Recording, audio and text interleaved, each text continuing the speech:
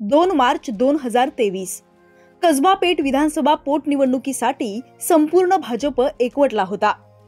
आता भाजपचं पुढचं लक्ष आहे पुणे महापालिका निवडणूक. परंतु ही निवडणूक कोणाच्या नेतृत्वावर लढायची असा मोठा यक्ष प्रश्न भाजपसमोर उभा आहे. आणि तोच प्रश्न सोडवताना भाजपच्या चार नेत्यांची तोंड चार दिशेला आहेत कसबा पोटनिवडणुकीनंतर पुण्यात भाजपची नेमकी अडचण काय झाली आहे? पुणे भाजपात अलबेला नसल्याची चर्चा का सुरू झाली आहे? अठ्ठावीस वर्षांचा बालेकिल्ला शाबूत ठेवण्यासाठी भाजपची एवढी कसरत झालेली असताना आता महापालिका ही भाजपच्या हातून जाणार का? तेच या व्हिडिओत पाहू. व्हिडिओला सुरुवात करण्यापूर्वी एक महत्वाची आठवण. मटाचं यूट्यूब चॅनल तुम्ही अजूनही सबस्क्राईब केलं नसेल तर ते जरूर करा.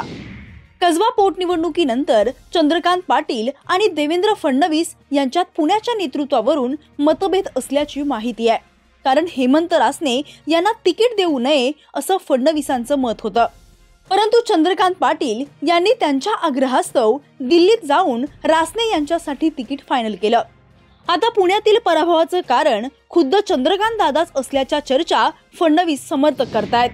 हेमंत रासने मुरलीधर मोहोळ माधुरी मिसाळ गणेश बिडकर धीरज घाटे जगदीश मुळीक आणि मेधा कुलकर्णी यांसारखे नेते पुणे भाजपचे भविष्य आहेत. कसबा पोटनिवडणुकीतील पराभवानंतर भाजप ॲक्शन मोडवर आहे. सध्या जगदीश मुळीक यांच्याकडे पुणे भाजपची शहराध्यक्षपदाची धुरा आहे.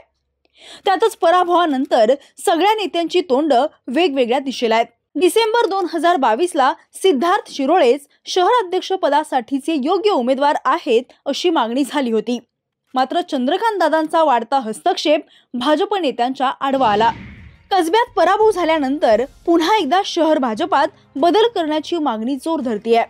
अशातच भाजपची अनेक नावं समोर असताना भाजपचे ज्येष्ठ नेते प्रदीप रावत यांच्या नावाची चर्चा आता शहर अध्यक्ष पदासाठी सुरू आहे.